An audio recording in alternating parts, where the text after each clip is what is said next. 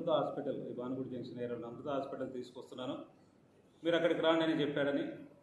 తర్వాత అక్కడికి వీళ్ళందరూ వెళ్ళేటప్పటికీ అతను వెనక చూతుక్కున్న పొజిషన్లో ఉన్నాడు. డాక్టర్ అక్కడ అమృత హాస్పిటల్ డాక్టర్ వచ్చేసి వారిని ఎగ్జామిన్ చేసి ఆయన చనిపోయాడని చెప్పి డిక్లేర్ చేసినట్లు. తర్వాత వీళ్ళు ఫ్రెండ్స్ ఏదైతే ఉన్నారో వీళ్ళందరూ కూడా ఎలా జరిగిందని ఆయన నిలదీసినట్టు తర్వాత వీళ్ళందరూ కలిసి వాళ్ళ ఇంటి దగ్గర తీసుకెళ్ళారు. ఇంటి దగ్గర తీసుకెళ్ళినప్పుడు ఈ యాక్సిడెంట్ ఎలా జరిగింది ఏం జరిగింది ఆ డీటెయిల్స్ అని మాకు తెలియదు కదా. మీరేమో కార్లో తీసుకొచ్చారు అని అతను ప్రశ్నించడం. అక్కడ ఆయన కొంత అక్కడే ఉండి వీళ్ళ వన్ అవర్ టూ అవర్స్ అక్కడే స్పెండ్ చేశారు. వీళ్ళు అలా అతను నిలదీసినప్పుడు అతను దగ్గర సమాధానం లేక అక్కడ నుంచి ఆ కారు ఆ బాడీని అక్కడ వదిలేసి వెళ్ళిపోయాడని చెప్పేసి వాళ్ళు మనకు ఇంకేస్లో వాళ్ళు ఇచ్చిన వాంగ్మూలం జరిగింది. సో ఈ ఏదైతే ఈ అనుమానాస్పద మృతి ఏదైతే ఉందో దీంట్లో మనం ప్రధానంగా అనుమానితుడిగా అనుమాన మాకు అన అనంత బాబు పైన మెయిన్ సస్పెక్ట్ అని చెప్పేసి వాళ్ళు ఇంక్వెస్ట్ వేయడం జరుగుతుంది. సో దీని బేసిస్ మీద ఈ పర్టికులర్ కేసులో ఇప్పుడున్న వాళ్ళు ఇచ్చిన ఇంక్వెస్ట్ ఆధారంగా ఈ ప్రధాన ఈ కారణానికి ప్రధాన నిందితుడిగా అనంతబాబును వాళ్ళు ఇంక్వెస్ట్ రిపోర్ట్ ప్రకారం సైట్ చేయడం జరుగుతుంది.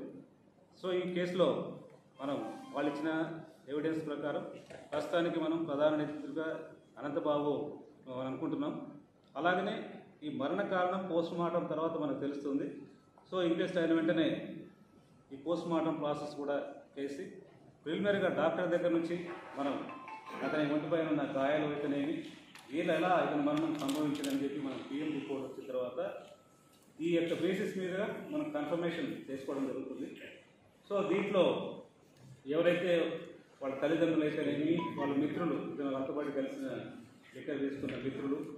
తర్వాత వీళ్ళు ఎగ్జామిన్ చేసిన డాక్టర్స్ సో దీంట్లో ఎవరైతే సాక్షులు ఉన్నారో వాళ్ళందరినీ కూడా మనం చాలా ఇదో ప్రాజెక్ట్ కూడా విచారించడం జరుగుతుంది. ఈ కేసులో ఇప్పుడు ఈ ఆధారాలను తెలిసిన వెంటనే ఆనరబుల్ సీఎం గారు అయితేనేమి అలాగనే వారు ఇచ్చిన ఉత్తర్వుల మేరకు డీజీపీ గారు ఇమ్మీడియట్గా దీని ప్రయారిటీ బేసిస్ మీద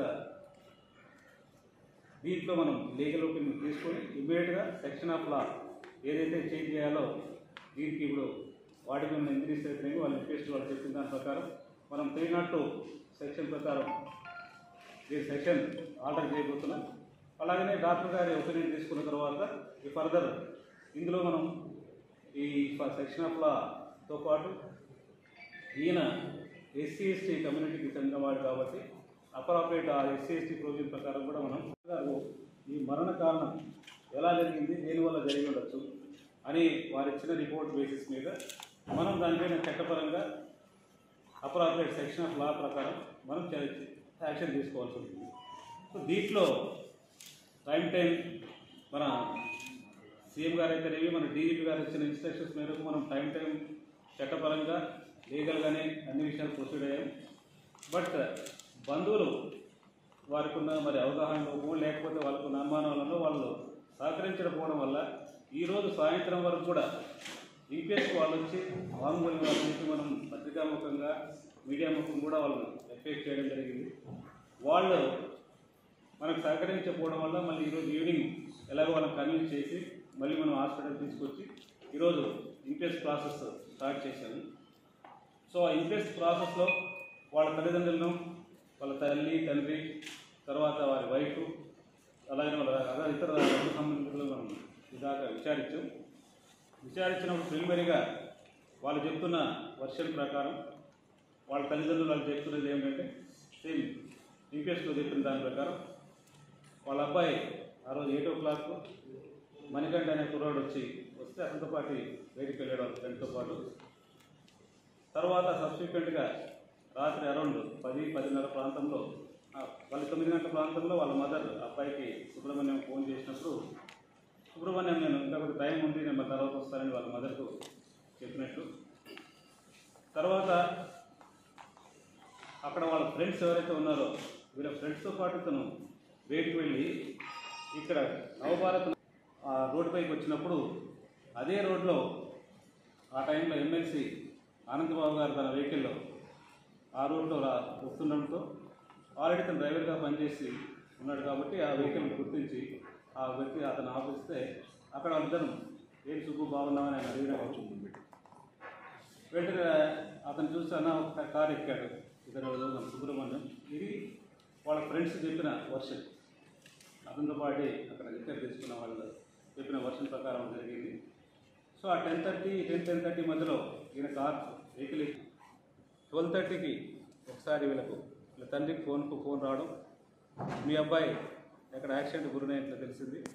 తర్వాత చిన్న అబ్బాయి నవీన్ అనే నెక్స్ట్ బ్రదర్ ఉన్నాడు.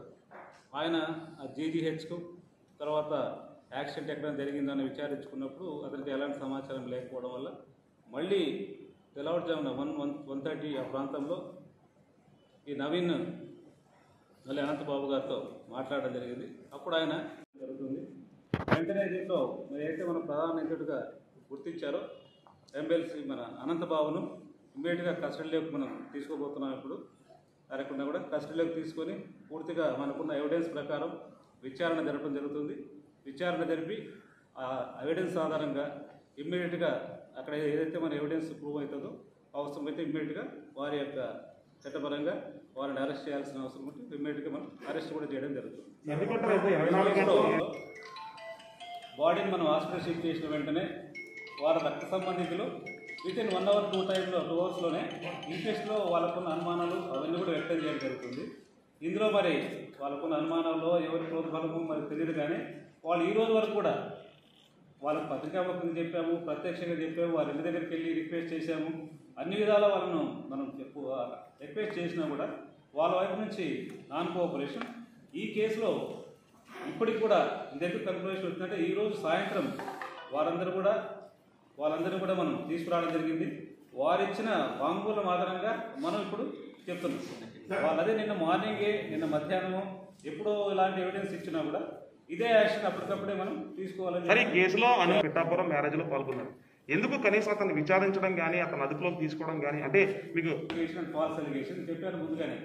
ఈ ప్రధా ఈ కేసులో మొట్టమొదటి నుంచి కూడా ఇంపార్షియల్గా ట్రాన్స్పరెంట్గా ఇన్వెస్టిగేట్ చేయమని మనకు పైన హార్మోల్ సీఎం ఆఫీస్ నుంచి కానీ దీపిక గారి నుంచి చెప్పడం జరిగింది.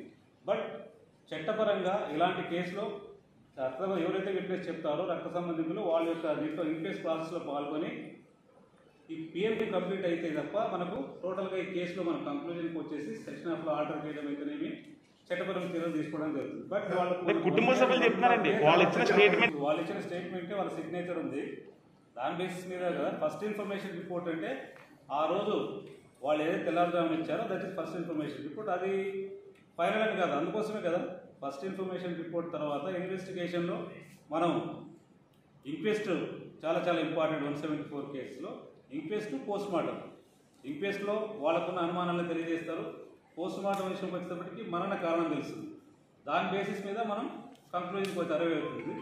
బట్ మనకు వాళ్ళ బంధువుల నుంచి సరైన సహకారం లభించగా మనం రిక్వెస్ట్ చేశాము చెప్పాము. తర్వాత మరి వాళ్ళు ఏది మరి దానికి ఉన్న అనుమానాలు ఏంటో ఏమిటో తెలియదు కానీ ఈరోజు ఈవినింగ్ మళ్ళీ వాళ్ళని కన్విన్స్ చేసి వాళ్ళందరినీ కూడా మనం రిక్వెస్ట్ చేసి తీసుకురావడం జరిగింది. వాళ్ళందరి యొక్క బంధువుల సమక్షంలో వాళ్ళ పెద్దల సమక్షంలోనే ప్రత్యక్షంగా ఈరోజు మనం స్టేట్మెంట్స్ అని రికార్డ్ చేసిన తర్వాత మనం ఈరోజు